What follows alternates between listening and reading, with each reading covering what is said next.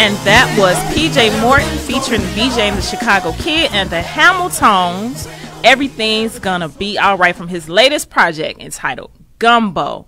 And I believe we have on the air on the Artist Stage radio show PJ Morton.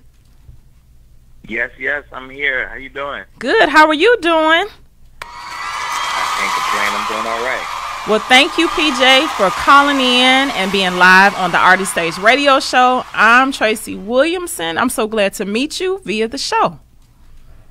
My pleasure. I'm happy to be here. Thank you for having me. Thank you. Well, I know you are super, super busy. You're like one of the most busiest artists. You always on tour, but we're gonna take this time to chat with you because on the Artist Stage radio show we have thousands and thousands and thousands and thousands. I'm just gonna keep saying thousands and thousands of singers, songwriters, producers, artists who listen to the show and they watch it live on Facebook who want to be a part of the music industry. And also tonight, I'm sure we have several independent artists who are listening um, because you're on the show and you have a, a major story when it comes to being signed to a label, being an indie artist, amongst so many other things. But right here on the show, PJ, we help artists become better just through uh, tips, information, and artists such as yourself who chat with myself and the artists along with playing your great music. So, what are you doing right now? I know that's a random question, but like right now, while you talking to me, what are you doing? Um, right now I'm sitting at a table. I was working on the. Uh, I was scoring. I was scoring a TV show right now, and uh, I took a break to to call you. So I'm sitting in front of my computer and uh, and my keyboard. So you say you're scoring yeah. for a TV a, t- a TV show? Yeah, I'm the cre- I'm creating the music for uh for this uh, comedy that's coming out in a in a couple months. Wow. Are you able to say the name of the show, or is that not? Is it not? I don't. Yeah, I don't think I'm able to say it yet because nothing has come out yet. So, um, but uh, it's exciting. I can say that, and uh, it's a very funny show, mm-hmm. and um, it's my first full TV show that I've that I've scored. I've done commercials before and music here and there for movies and stuff, but this is like my first time uh, doing a whole TV show, so it's exciting for me. Wow. So, from being a musician, songwriter, artist, and author as well, uh, movie mm-hmm. score and television score, what, what is it that you can't do? Can you cook as well, PJ? I could cook a little bit. Yeah, I'm from New Orleans, you know, so we um we we we can't uh we can't get out the house without being able to cook a little bit. So I got uh I, I got some skills. I'm really I'm really nice on the on the grill too. On the grill, but but my yeah. the real question I have for you is, can you make gumbo? I cannot make gumbo. Oh, I've been PJ. telling myself that I was going to uh, that I was going to learn this year. Um, I've always ha- I've always had somebody cook it for me, mm-hmm. and um, it's very simple, but you gotta it, it, it it's still complicated in its simplicity. So it's hard to get gumbo right you know. Mm-hmm. Um, so I haven't tried it yet, uh, but I said this year I was going to learn how to make gumbo. Now, of course, you know this is a nice segue into your project entitled Gumbo. Now, you just made a statement. You said it's you said it's it's complicated when it when it comes to making gumbo. Would you describe that when it comes to how far you've gone come so far with your music career as an artist?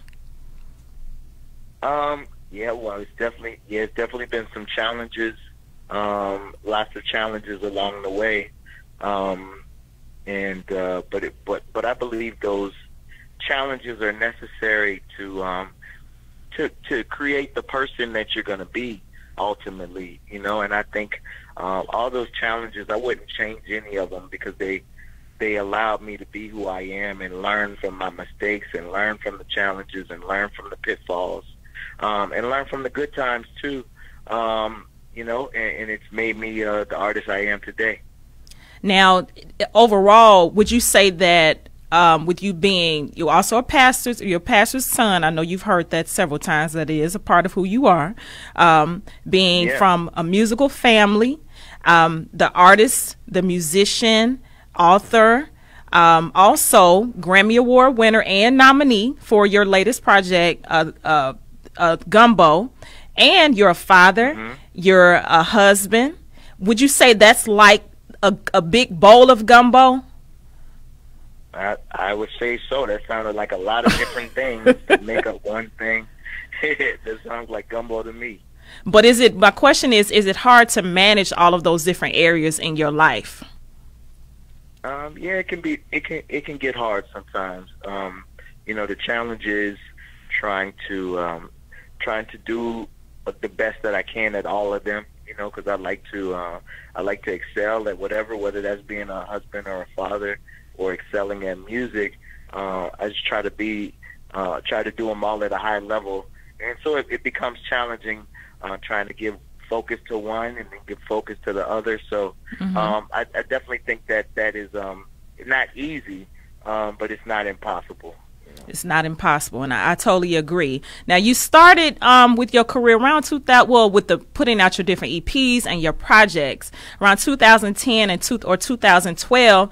And from what I know, you were around maybe a little after 2012. You were signed to a major when you were with um, Lil Wayne's uh, label. Did that happen overnight, or was it something you pursued, or did they pursue you?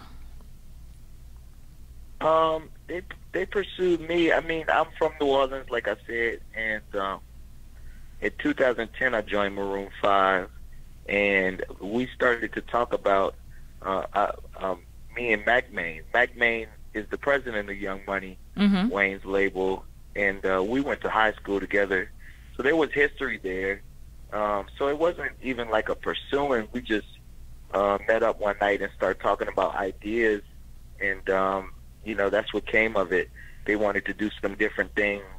Um, you know, I wasn't a rapper, and uh, they wanted to try something different, and um, I wanted to try something different too. So uh, we made that happen. Now I know you also you put out several EPs. Would you suggest that because I know I like I said I have a lot of independent artists who check out the show. Would you suggest that as a an option to do versus putting out full length projects to put out EPs as an indie artist or just does it matter what type of artist you are?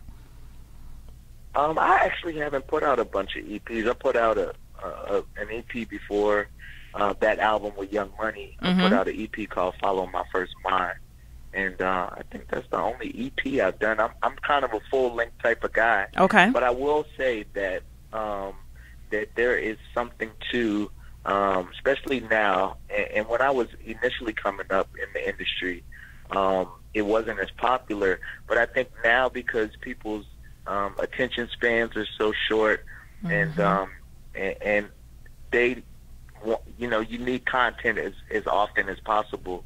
I do think that EPs or short projects are a, a good uh, formula to keep people engaged and uh, but also not give them too much music where you overload them. So if they can listen to five songs, they can actually fall in love with five songs. You know, because they're not intimidated to listen to that. It's like I could listen to five songs, twenty minutes, you Yeah. know, fifteen minutes, um, as opposed to going through a full length project. But I think once you have sort of a fan base uh, and people know you, um, then you're able to, um, you know, you're able to be a little more. Uh, you're able to do what you want to do a little bit more because you have people that are following you.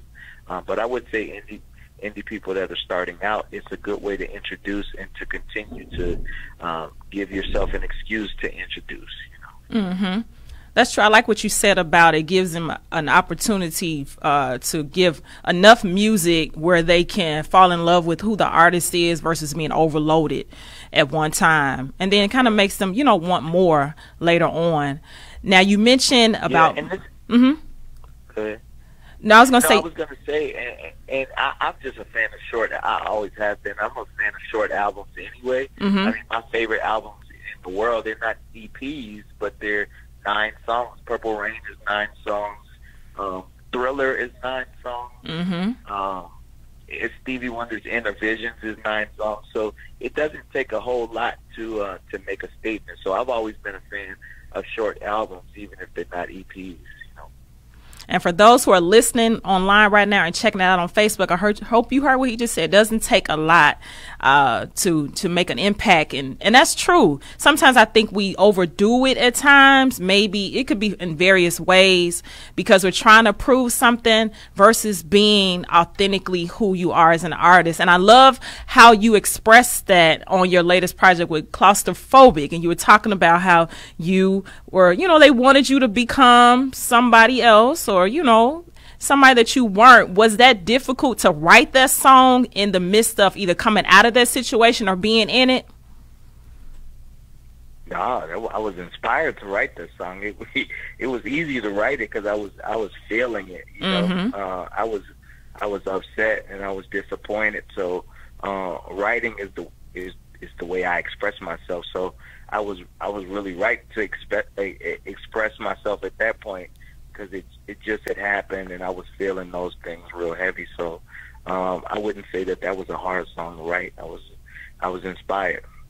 Now, were you coming out of a record company situation? Because I know you know years back you were signed yeah. to a major. Is that what pushed you yeah, to go I, the indie route? Well, no, I was indie before that. I started. I put out my first album in 2005 mm-hmm. independently, and I continued to do that to 2010. And then after 2010 is when I did the major deal with with Young Money and Universal. Um, and I think it just, um, you know, I because I had been the indie route for so long, I wanted to try something different. And I think going into the major and feeling that and understanding that uh, made me feel more comfortable in the independent world uh, that I had been used to. Um, so it kind of it didn't push me to the indie route, but it it um it kind of pushed me back to the indie route. Okay. Um, I didn't want to be in the system. I wanted more control. Um, like I said, I had fans. You know, it, it changes things when you have fans because then you have power. Um, you can always feed your your fan base, um, and I was able to do that independently. So um, it pushed me back to that. I, when I wrote that song, I was just getting out of my major deal, and um, I was actually looking at other labels, and mm-hmm. I was mm-hmm. you know having meetings, and eventually wrote claustrophobic and decided that I was going to do it independently again. Now, okay, now this question you can. Uh, hopefully, you can be as, as transparent as possible. Would you say that mm-hmm. it's better because you, you know definitely you've been an indie for so an indie for so long and like you said you're able to reach your fans the way that you want. But do you is it more challenging because you kind of have to run it and lead it yourself versus having a machine connected to you? Yeah well i think it's um i think both both routes have their own challenges. Mm-hmm. um i think uh a misconception about indie is that you think oh i'm by myself and i can do what I want to do, but it requires a lot of work, um, and it requires you being the, you know, at one time I was the, with me and my manager, we were management, we were touring, mm-hmm. we were the booking agency, we were the the marketing, mm-hmm. you know, I was the record producer, so you wear a lot of hats. Where in a major system, you have a lot of people doing these things for you. Right. Um, so in that way, I do think that it's much more challenging. But I will say, it's also much more rewarding because you're you're putting in everything, you're risking everything. So when that pays off, it feels much better than when you had a whole building of people making this happen. right. Um, so um, it, it definitely can be more challenging. Yeah. Now you you also at the earlier in the interview you mentioned um, if for those who are just tuning in and checking it out, um, PJ is also connected to and a part of one of my favorite bands, Maroon Five. I love Maroon Five. I've I've loved them for years, uh, and I love your work that you've done with them. Now, now people that are listening to you, PJ, they may think, and I don't necessarily wouldn't assume this, but they may think, oh, well, you know, he's a pastor's son and he was introduced to music early on. He's been on certain platforms. Of course, we know who your father is if they don't know Bishop Paul Morton. Um, also, he got connected with, you know, being in New Orleans, you're around so many people. And what I'm leading to is being connected to and around certain platforms and then being on uh, connected to Maroon 5 later on in your career would you say that that was more of a, uh, a a push for you to be where you are now? Do you think that you needed those things to be where you are now, or did it just kind of come um, along with who you already were growing up as a child up until the point you are now in life? I mean, I don't know if I needed it, but I can definitely say that it it helped my career a lot. I mean, being being connected to something that is so successful and continue to become more successful after I joined mm-hmm. um, can only could could only help uh, me help relationships, help uh, me learning, you know, help uh, yeah. all kinds of things. So um, I don't know if I needed it to get where I, I tend to believe that, um, you know, I was going to end up where I am regardless. You know, mm-hmm. it is my purpose. Um, so I don't know if I needed that specifically, but um, it definitely helped me and uh, has uh, has been one of the most amazing things that's happened to me in my career.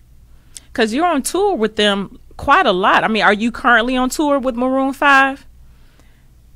No, I've actually since Gumbo came out, I've been more on tour solo than with the band. We go on tour in September and October. Okay. Um, but I've I've been touring for five months already this year, so um, solo on for the Gumbo tour. Uh, but yeah, because I go back and forth between touring solo and touring with the band, um, I, I I tend to stay on the road a lot. Mm-hmm. Yeah. Now you mentioned you mentioned the word purpose, um, and I know that one of your favorite artists is Mr. Stevie Wonder, and you were you yeah. and you were uh, the, the you were able to perform the only one the song with him, and also you have um, worked with several other people who have influenced your musical career. But also, you have a song on your latest project entitled Religion.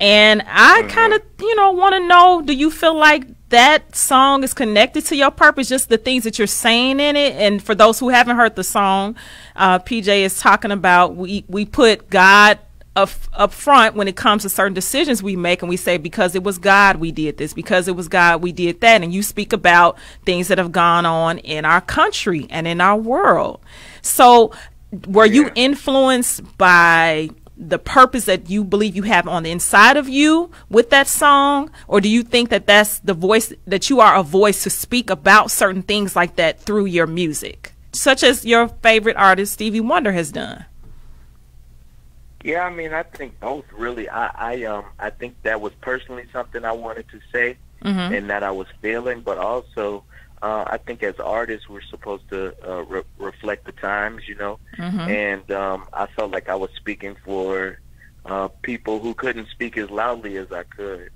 Um, you know, I wrote that during uh, the uh, presidential campaign, and I was I, I felt like not only me, uh, a lot of people were feeling that way, and um, so I mean that that's the way I write songs. I mean, I know you know, people write songs for different reasons, but I write them to express myself.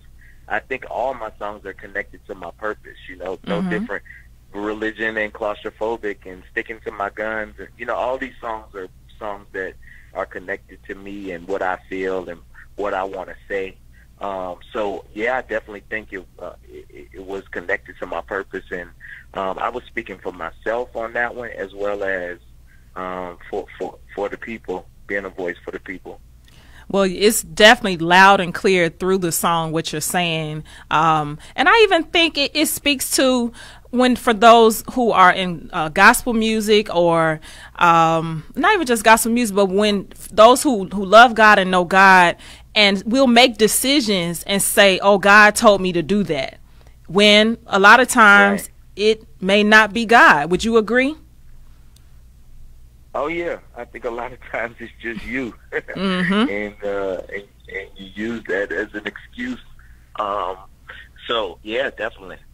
Yeah, I, I, totally agree. Now, PJ, yeah, early, in, I'm sure early on when you started out, uh, maybe coming up younger in your household, and you were singing and you know performing and playing and different things like that as a musician, and you made the decision not to go the gospel route um, and you express that to your family, um, I'm sure you had a few challenges as far as exactly how you wanted to explain that. And I know I have people who are listening who may be in that same situation, who've grown up in the church, you know, and they they play maybe they're they play for churches or sing in church, but they don't necessarily want to perform or um, sing gospel music what are maybe I don't know I don't want you if you don't want to go really deep into it it's fine but what would be maybe a bit of advice you could give to them when it comes to expressing that desire of the genre of music or the type of music you want to sing that you feel is a part of who who who they feel they they are and they need to express that? Yeah well for me it was um you know I grew up in church my whole life and um but I just knew that as an artist I wanted to say more because um, these specifically, I think it's all like we talked about purpose. Mm-hmm. Um, but I felt like it was my purpose to talk about more than just God, you know, and that's usually what gospel music is limited to. Um, and I felt like uh, even you know I got a song religion. I think mm-hmm. if I want to talk about God, I can. Yeah. Uh, if I want to talk about other things, being a gospel musician, uh, it, it limits me sometimes. But um, I think for me, and I couldn't articulate this this well initially as a kid, um, but I think my parents felt my heart and felt like um, it wasn't just me trying to rebel and wanting to do something else, but that I really had a gift and I really had a purpose to do more than that. Um, but my my thing was always that, you know, we we we find people. I talk about love a lot. I talk about relationships a lot. Mm-hmm. Um, but to get married, you you you got to date somebody, and um, you know you can tell your friend uh, you know, I like this girl.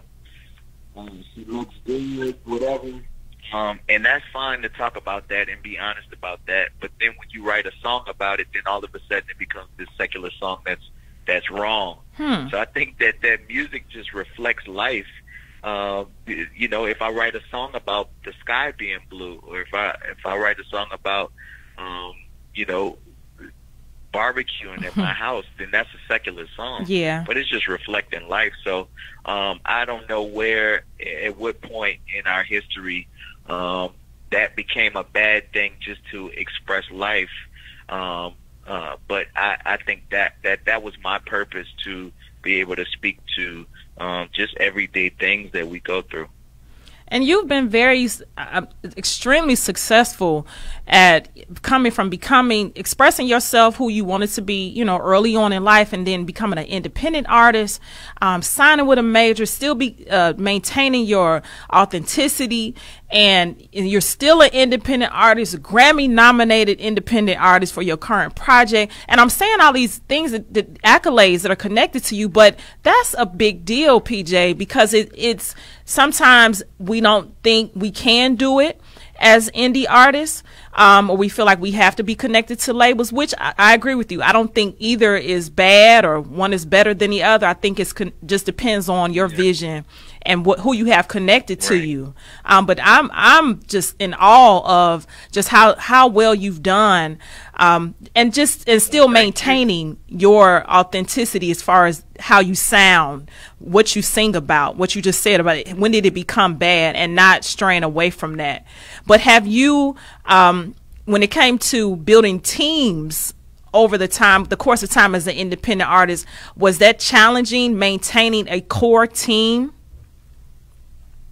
Yeah, well, it has been challenging. I, it's probably why my core team has been kept very small. Mm-hmm. Um, my manager now, uh, with my day to day, Tanya has been with me for I don't know, fifteen plus years. Wow. And um, but she started out as my merch person, mm-hmm. then became my assistant, and then eventually became management and day to day.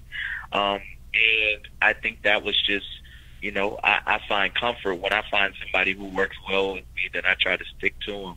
But I think the other way I've been able to get a solid team is I didn't go and get out get people um, before I needed them. So I didn't hmm. I didn't go and get a marketing team before I needed marketing. You know, yeah. I, I try to do as much as I can until I can't do it anymore, mm-hmm. and then mm-hmm. it's time to bring somebody on.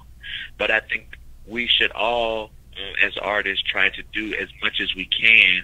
Uh, one to learn the business and to learn every aspect of the business, but also to make sure that you're not just picking a team. I know people who say, I need this agent, I need this manager, I need this PR person, and they don't even have anything to put out or yeah. to promote or to, you know what I'm saying? So I think it's all in timing, and I, I was always, um, I, I would always go by that rule of, um, I'll, I'll bring somebody on when I just can't do it anymore. Mm-hmm. Um, so, um, so there, there have been challenges along the way, uh, but I've, I've been blessed to be able to like, um, you know, have a solid team that's been around me for a while. Um, that's from my band to my management to my attorney. Mm-hmm. Um, and we've just built and grown together.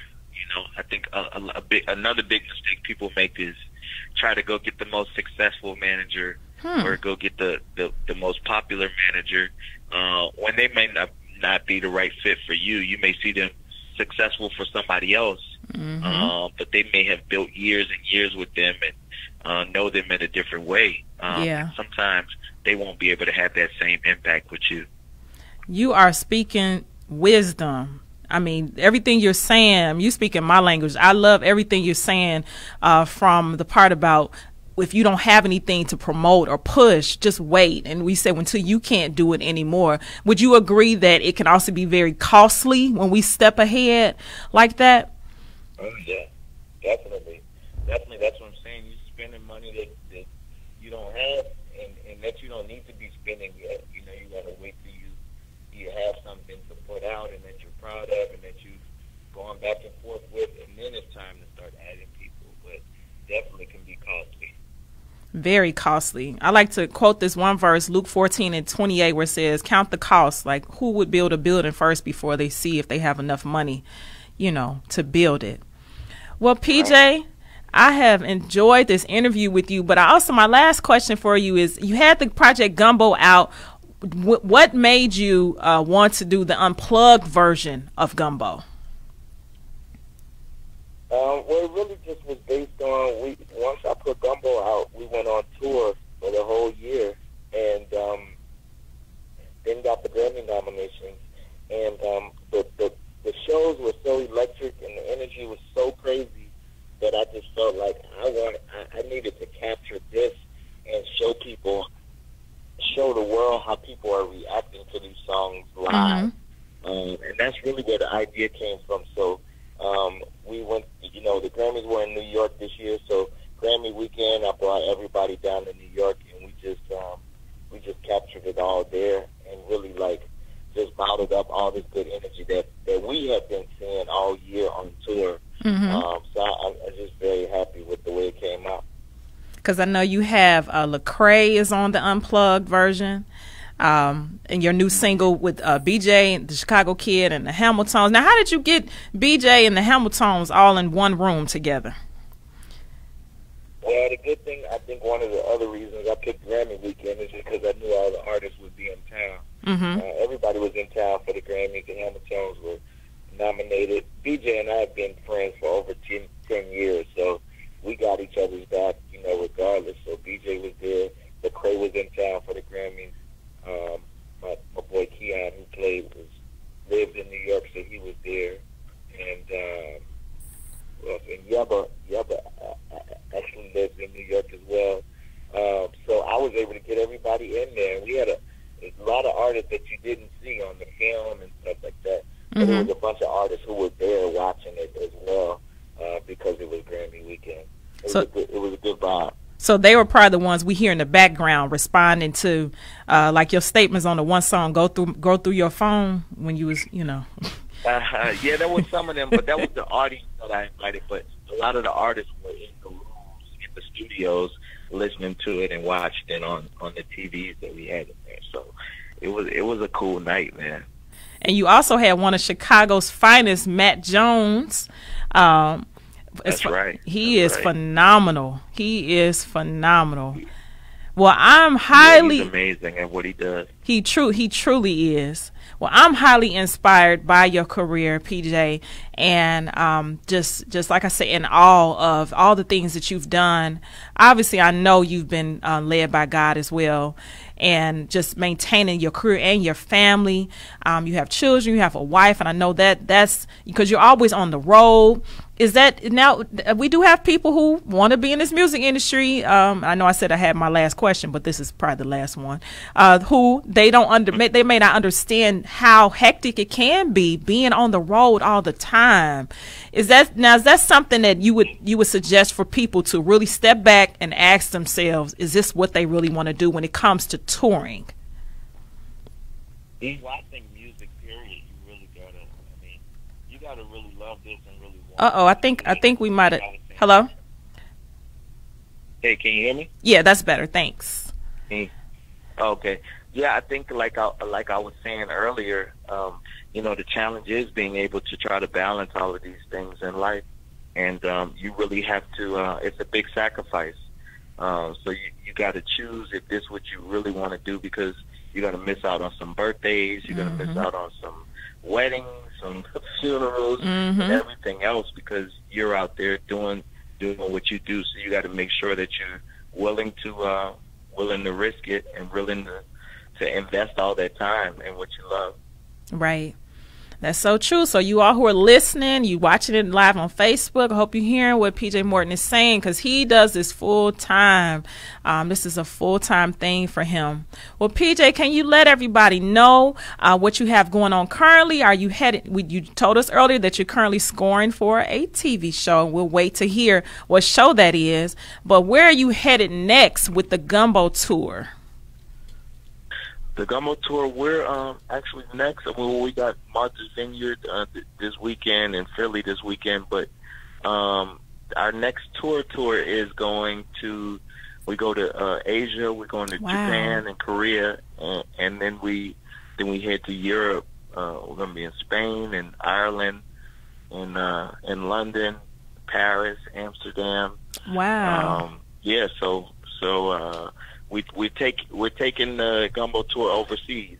Well, a more gumbo tour because we took gumbo tour um, over to London, uh, Europe last year. Mm-hmm. Um, but uh, but now we're gonna gonna also add Asia, and uh, it's exciting, man. We're, we're taking it all over the world. We just got back from Australia a couple uh, a couple weeks ago, and uh, we're just keeping it moving and you you definitely are doing that.